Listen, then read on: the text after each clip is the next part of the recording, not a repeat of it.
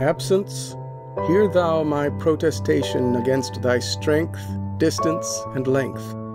Do what thou canst for alteration, For hearts of truest mettle Absence doth join, and time doth settle. Who loves a mistress of such quality, He soon hath found affection's ground Beyond time, place, and all mortality. To hearts that cannot vary Absence is present, time doth tarry.